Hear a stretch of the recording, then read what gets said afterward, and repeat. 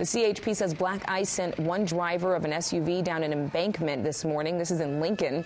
Live Livecopter 3 HD over the scene at Sierra College Boulevard near 12 Bridges. You can see damage to the vehicle, and that driver airlifted to the hospital. Also, another black ice incident.